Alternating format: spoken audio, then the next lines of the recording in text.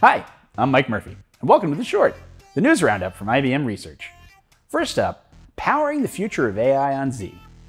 Back in 2022, when IBM unveiled Z16, it featured Telum.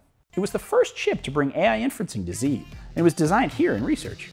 That work has continued on, and now IBM is unveiling Spyre, an AI accelerator that will bring generative AI workloads to a new level on Z. It shares a similar architecture to the AIU prototype from IBM Research that we've talked about here before. A future Z system equipped with a Spyre accelerator could run massive AI models to help businesses securely run generative AI workloads on premises. Stay tuned for more on Spyre. Next, generative AI comes to the US Open. Ahead of this year's Open, IBM and the United States Tennis Association have unveiled a host of new technologies that'll be available for fans while they watch their favorite athletes.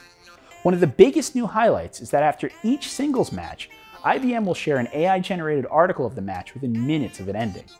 This is powered by the IBM watsonx AI and data platform and leverages the Granite 13B large language model incubated here in research.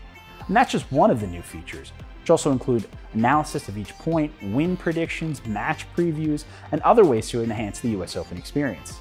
Now, if we could only figure out how to generate a honeydeuce into my hands at home, I'd be really happy. And in case you missed it, here's a fun way to understand how transformers work. The underlying technology that's powering the large language model revolution is called the transformer. It's a type of neural network architecture that learns relationships between words to glean context.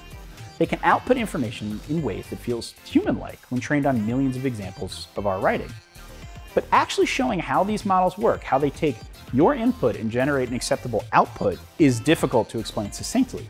That's why IBM researcher Benjamin Hoover built this neat tool, suitably called Transformer Explainer, to show folks how they work. Hoover is currently splitting his time at Georgia Tech, where he's getting a PhD in machine learning. He and his classmates built the tool to show exactly what is happening when an LLM runs. You can easily lose several hours playing with it. I already have. For more on the latest innovations from IBM, make sure you subscribe to our newsletter, Future Forward. Till next time.